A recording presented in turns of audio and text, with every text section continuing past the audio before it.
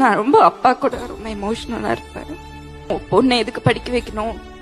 எதுக்கு காலேஜ் அனுப்புனேன் எதுக்கு ஹாஸ்டல் அனுப்புனேன் எல்லாம் என் தாத்தா பாட்டில இருந்து எல்லாருமே சண்டை போட்டாங்க.